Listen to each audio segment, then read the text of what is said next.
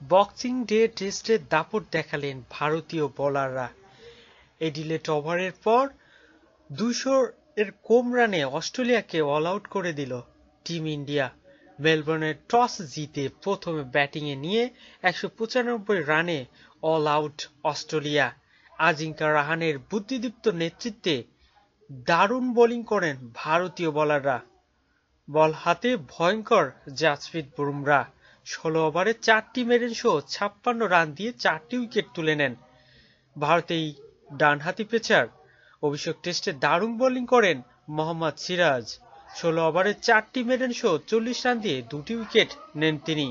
চা বিরতির পর দেড় ঘন্টায় উনষাট রানে শেষ পাঁচ উইকেট হারায় অস্ট্রেলিয়া। এমসিজির বাউন্সি পিচে অস্ট্রেলিয়াকে দুশো রানের গন্ডি টপকাতে দেননি ভারতীয় বোলাররা।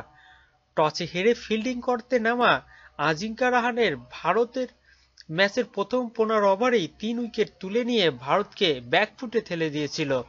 সেখান থেকে মার্শাল লাবুসনে ও ট্রেভিস হেডের লড়াইয়ে ম্যাচে ফেরে অস্ট্রেলিয়া।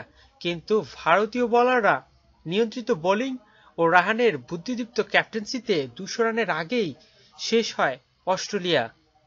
অজি ইনিংসে সর্বোচ্চ আটচল্লিশে রান করেন লাবুসেনে নতুন করে ভারতীয় বোলারদের বিরুদ্ধে লড়াই করে প্রথম দশ ওভারে বার্নার্সের উইকেট হারিয়ে পঁচিশ রান তুলে নিয়েছিল অস্ট্রেলিয়া। কিন্তু একাদশের ওভারেই অফ স্পিনার আশ্বিনকে আক্রমণে এনে সাফল্য পায় ভারত।